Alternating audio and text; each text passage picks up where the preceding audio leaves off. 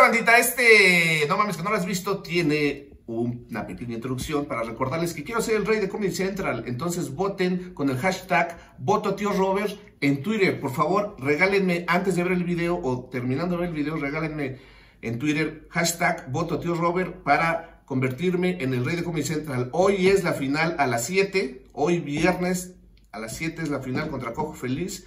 Y aparentemente vamos muy bien, pero no tenemos que decaer porque el cojo feliz en cualquier momento nos da la vuelta. Hashtag voto tío Robert. Y celebraremos con un buen pozol en lata, tanto yo como el Rory como el Bobot. Saluda. Hashtag voto tío Robert. Cámara.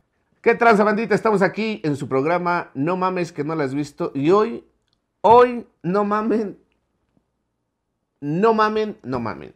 Tenemos una película de No mames tupito loco que me emociona, me emociona en demasía.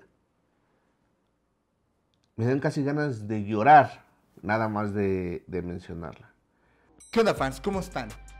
Hoy por primera vez repetimos un director. Así es amigos. La película que hoy nos trae el tío Robert es Selig. Selig es del año de 1983 y es una película estadounidense con duración de 76 minutos. Es dirigida y escrita por Woody Allen. Es de género falso documental. Uf, joyita que neta tienen que ver. Adiós. Selig de Woody Allen. Woody Allen tendría que ser el primer director al cual repetíamos en este sucendo programa y creo que tenemos que hacerlo con una película que para mi sorpresa no la ha visto todo el mundo.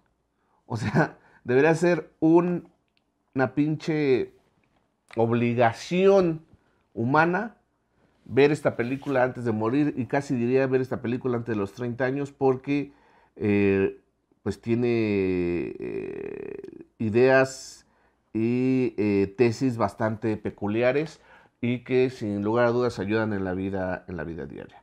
Selig de Woody Allen, 1983, que fue una película que a pesar de que tuvo algunas nominaciones al Oscar, que a pesar de que sigue siendo considerada por muchos de las mejores comedias de la historia. Por mí, sin pedos, la considero una de las cinco mejores comedias de la historia.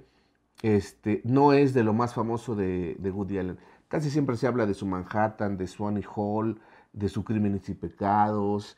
Este, y bueno, a tiempos recientes eh, de eh, Medianoche, en París, este, de Vicky Cristina Barcelona, que esa sí es muy chingona, de Match Point, que al mismo Woody Allen es la que más le gusta, pero creo que todas esas que les estoy mencionando están sumamente alejadas de lo que es esta maravilla, Selig. Para empezar, en su momento fue una cosa sumamente innovadora porque está hecha en el formato de falso documental. Aquí ya hemos hecho análisis de falsos documentales, hicimos el de, el de Popstar si no me, si no me equivoco. Este, pero esta es el padre de, de todos los, de, todos los este, falsos documentales.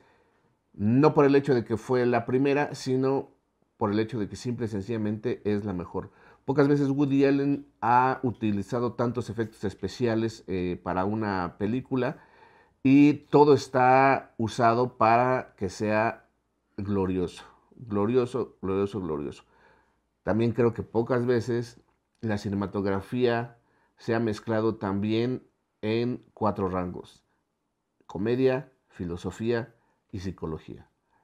Senda película que estamos a punto, bueno, yo en mi caso de rever, ustedes si no la han visto por primera vez, me lo agradecen luego, pero es importante y sumamente trascendental ver Selig, con un director que para mí es uno de los grandes genios vivos en la actualidad que está en el candelero porque justamente acaban de editar su biografía que es a propósito de nada, que eh, justo en este momento estoy leyendo gracias al señor Alex Fernández que de una manera muy bonita y maravillosa, una vez que se curó el COVID, vino y me dijo, tío, te traje la biografía de Woody Allen para que la leas. Y yo, muchas gracias, déjala desinfecto, cabrón, porque me da miedo Ah, no es cierto, ya estaba, ya estaba curado.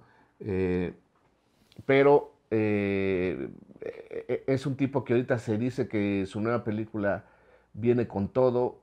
Es, es un sabio de 84, 85 años que yo sé que cuando muera, ahora sí todo el mundo va a empezar, ay, señor Woody, señor Woody, señor Woody. Pero hoy por hoy, solamente la mayoría de la gente lo está señalando por las acusaciones estas nunca comprobadas y nunca justificadas de este, pederastia. Bueno, ojalá puedan separar al hombre de la obra y deleitarse con Selig. Yo sé que es una película que muchos van a decir, no mames, tío, esa sí ya la vi, que es la chingada y no sé qué. Bueno, cabrón.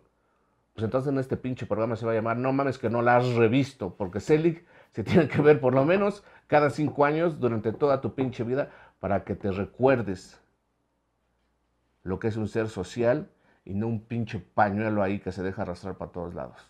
Ya me emputé. Selig, la vamos a comentar porque aparte lo utilizo con toda la y ventaja, dado a las grandes críticas y las grandes eh, alabanzas que hubo al capítulo con Quique Vázquez, dije, pues qué mejor que volver a traer a nuestro pinche psicólogo favorito, nuestro psicólogo parálisis cerebral que habla lenguaje de señas para comentar Selig. Entonces esto se va a poner sumamente, sumamente chingón. Cámara, nos vemos en la segunda parte de No mames que no la has visto con Selig para que la comentemos y hablemos de ella. Porfa, véanla.